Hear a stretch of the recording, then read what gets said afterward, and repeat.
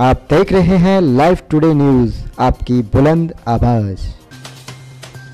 अलीगढ़ के थाना मडरा क्षेत्र में सनसनीखेज प्रेमी युगल की डबल मर्डर मिस्ट्री को पुलिस ने महज 24 घंटे में सुलझा लिया। मामले में पुलिस ने मृतका के हत्या आरोपी भाई को गिरफ़्तार कर जेल भेज दिया है। प्रेमी युगल की सनसनीखेज गला रेत कर हत्या के मामले का पुलिस ने खुलासा करते हुए महिला के हत्या आरोपी भाई को गिरफ़्तार कर लिया है, जबकि हत्याकांड में शामिल उसका दोस्त अभी पुलिस की गिरफ्त ऐसी दूर है। आपको बता दें, फिरोजाबाद जनपद के थाना रामगढ़ की रहने वाली शहनाज व उसके पहले पति ऐसी पारिवारिक विवाद चल रहा था। उसके बाद शहनाज अपने प्रेमी जाने आलम के साथ अपने दोनों बच्चों को लेकर अलीगढ़ के मड्राक थाना क्षेत्र में रेलवे स्टेशन कॉलोनी में किराए के मकान में रह रही थी। यह बात शहनाज के भाई शकील को नागवार गुजरी, जिसके चलते शकील ने अपने दोस्त के साथ मिलकर प्लान बनाया और अपनी बहन और उसके दूसरे पति को गला रेत कर मौत के घाट उतार दिया और मौके ऐसी फरार हो गया। आज पुलिस ने शकील को वाहन चेकिंग के दौरान फिरोजाबाद के बन चेतना चौराहे ऐसी गिरफ़्तार कर लिया और उसे गिरफ़्तार कर जेल भेज दिया है। मामले में एसएसपी आकाश कुलहरी ने बताया की शकील के फरार दोस्त मनोज को जल्द गिरफ़्तार कर लिया जाएगा।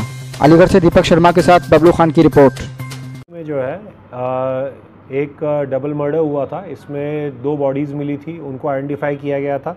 एक का नाम जाने आलम था 26 वर्ष का युवक था और एक शहनाज थी महिला। आ, इन दोनों की बॉडी मिली थी उसमें जो है कटर से गला काट करके जो है इनका मर्डर किया गया था।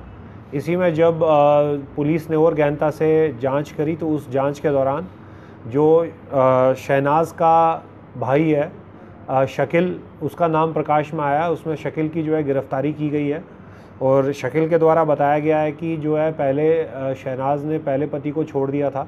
उसके बाद दूसरा पति जो ये जाने आलम है, इसके साथ में रह रही थी।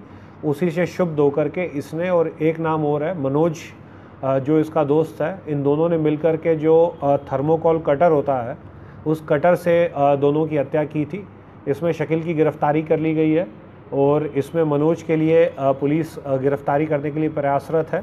और जो थर्मोकॉल कटर जिससे आला कत्ल जो था, उसकी भी बरामदगी पुलिस के द्वारा कर ली गई है। और इस तरह से इस डबल मर्डर को जो है पुलिस ने वर्कआउट किया है। इसमें एसएचओ मड्राक की अहम भूमिका रही है मर्डर को वर्कआउट करने में।